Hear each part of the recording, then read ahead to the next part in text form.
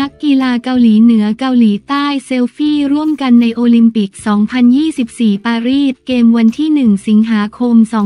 2567 11นาฬิกา 16 นาทีซีนประวัติศาสตร์ นักกีฬาปิงปองทีมชาติเกาหลีเหนือ และเกาหลีใต้เซลฟี่ร่วมกันหลังจบการแข่งขันในโอลิมปิก 2024 ทำทั่วโลกชื่นชมเป็นที่ทราบกันดีว่าความขัดแย้งระหว่างเกาหลีเหนือและเกาหลีใต้นั้นมีมาอย่างยาวนานกว่า 70 ปี และไม่มีท่าว่าจะยุติลงได้ง่าย ๆ แม้จะมีการพยายามสารสัมพันธ์หลายครั้งก็ตาม ล่าสุดเกิดภาพที่ทำให้โซเชียนใจฟู เมื่อลิมจองฮุนและชินยูบินนักกีฬาปิงปองทีมชาติจากเกาหลีใต้ ถ่ายภาพเซลฟี่ร่วมกับ นักกีฬาปิงปองทีมชาติจากเกาหลีเหนือ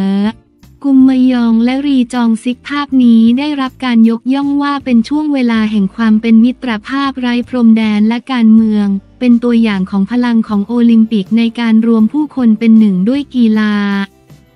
อย่างไรก็ตามนักกีฬาปิงปองเกาหลีเหนืออย่าง คิมกุมยองและรีจองซิกเป็นมือวางอันดับ 16 ซึ่งคว้าเหรียญเงินมาได้หลังจากพลิกสถานการณ์เอาชนะญี่ปุ่นและฮ่องกง ได้สิทธิ์เข้ารอบชิงชนะเลิศกับจีน ซึ่งเป็นทีมอันดับหนึ่งที่คว้าเหรียญทองมาได้รีจองซิกและคิมกุมยองนี่ถือเป็นโอลิมปิกครั้งแรกของเกาหลีเหนือนับตั้งแต่ริโอในปี 2016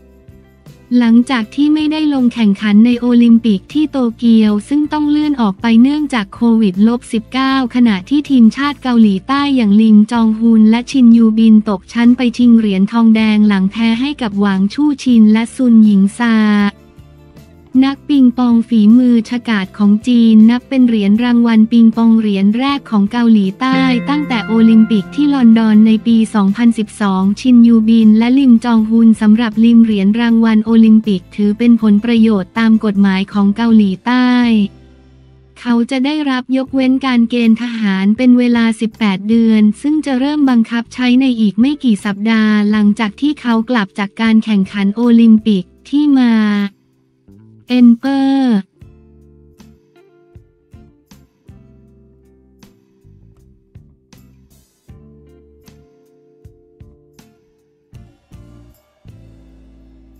เบนจาโอดอาจได้พูดในสภาครั้งสุดท้ายมั่นใจก้าวไกลไม่ถูกยุบแต่อะไรก็เกิดขึ้นได้ การเมืองวันที่ 1 สิงหาคม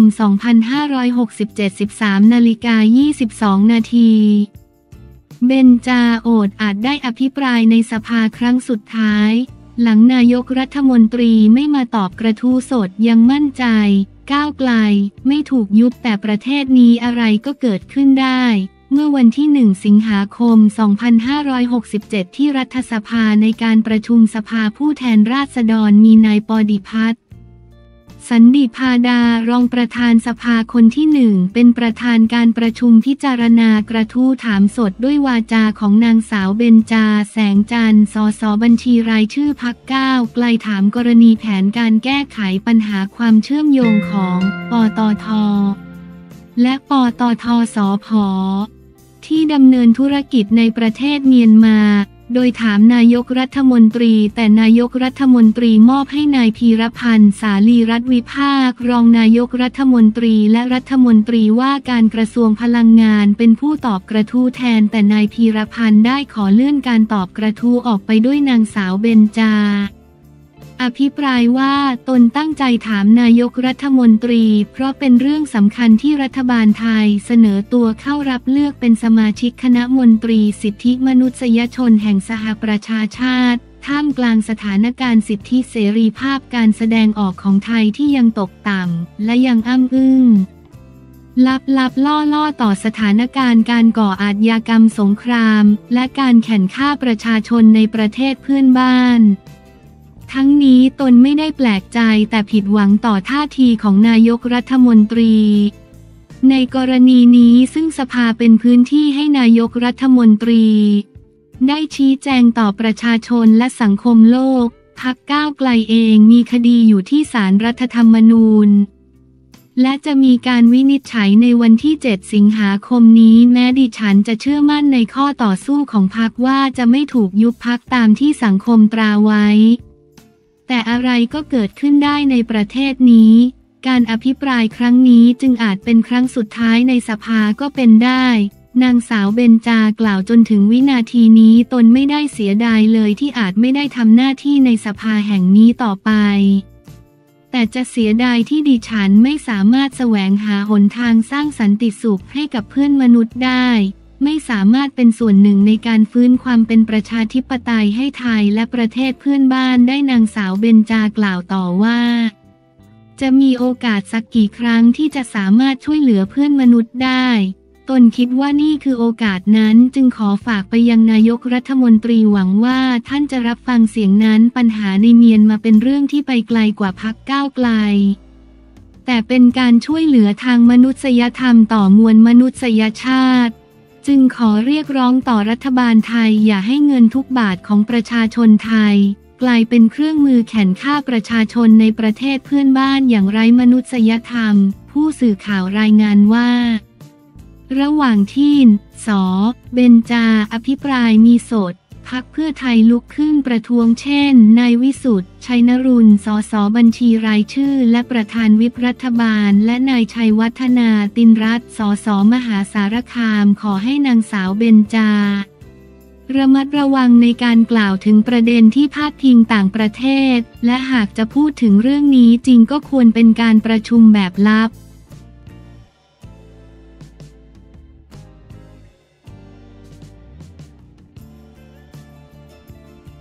บิวภูริพลไร้อาการเจ็บยันโอลิมปิกครั้งแรกไม่กดดันลุยซ้อมเข้มให้พร้อมที่สุดปารีสเกมวันที่ 1 สิงหาคม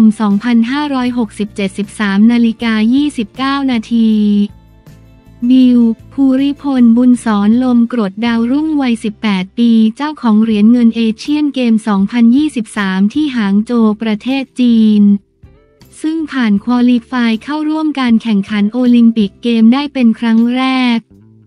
เปิดเผยถึงความพร้อมก่อนลงทำการแข่งขันวิ่ง 100 เมตร ชายในศึกโอลิมปิกเกม 2024 ที่กรุงปารีสประเทศฝรั่งเศสว่าตนพร้อมแล้วที่จะลงทำหน้าที่ในครั้งนี้ไม่มีปัญหาอาการบาดเจ็บอาจจะรู้สึกตื่นเต้นบ้าง แต่ไม่กดดันเพราะตอนนี้โฟกัสแค่ตัวเองและอยากจะทำหน้าที่ให้ดีที่สุด ผมเดินทางมาถึงที่นี่สัปดาห์กว่าแล้ว ตอนนี้ปรับตัวเข้ากับสภาพแวดล้อมที่ปารีสได้แล้ว เรื่องสภาพอากาศไม่กังวลครับ เพราะซ้อมที่ไทยก็เจออากาศร้อนกว่านี้ ส่วนเรื่องอาหารการกินในหมู่บ้านนักกีฬา กินได้ปกติดีที่ผ่านมาหลังเดินทางมาถึงก็พยายามโฟกัสกับการฝึกซ้อมให้ได้มากที่สุด เพื่อให้พร้อมที่สุดในโอลิมปิกเกมครั้งแรก อยากฝากถึงคนไทยช่วยเชียร์ผมและนักกีฬาไทยคนอื่นๆ ในโอลิมปิกเกมรอบนี้ด้วยครับ ด้านนายเอกวิทย์แสวงผลผู้ฝึกสอนทีมชาติไทย เผยว่าการแข่งขันวิ่ง 100 เมตร ชายในศึกโอลิมปิกเกมรอบนี้มีนักกีฬาเข้าร่วม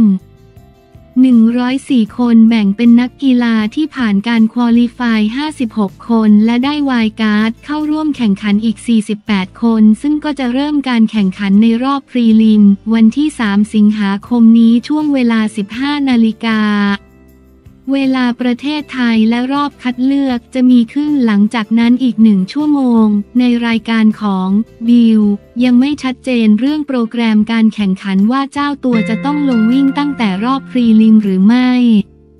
แต่เชื่อว่าไม่น่าจะต้องลงวิ่งในรอบดังกล่าว ซึ่งน่าจะเริ่มออกสตาร์ทที่รอบคัดเลือกเลย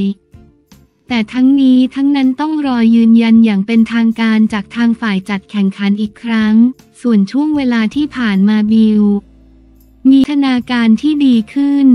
จุดที่พยายามแก้ไขอย่างเรื่องของการออกบล็อกสตาร์ทหรือการเร่งสปีดช่วงแรกหลังออกตัว ก็ทำได้ดีขึ้น